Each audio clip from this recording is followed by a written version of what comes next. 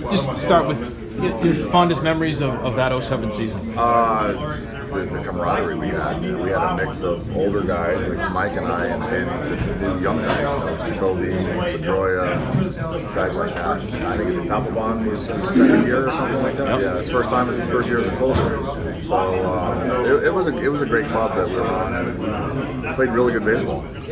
How different was that one from 04? Um,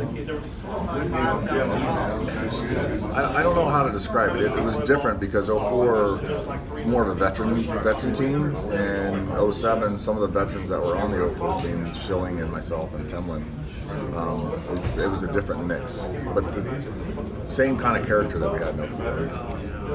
Like, you, you played on, on four championships. When you look back at this one, 07, what kind of what sticks out? You know, the thing that sticks out is where we came from the year before, and we stepped into 07. We, we started winning, and we, we gelled like quickly as a team in spring training, and then as we went through the whole year, nothing changed. Everybody knew what was expected of them. And they went out and did their job. There was no, as teams go, there was no backbiting or there was nothing going on in the, in locker room that people didn't know. It was out on the field. We played well, and we played, you know, probably the best baseball I've ever seen.